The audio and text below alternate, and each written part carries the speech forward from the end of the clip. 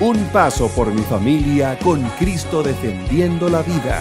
Damos un paso por mi familia, por la honestidad, por la ética, por la justicia, por la vida, por el amor, por el rescate de los valores. Yo doy un paso por mi familia. Este año se realizará de dos modos, presencial por parroquias y de manera virtual.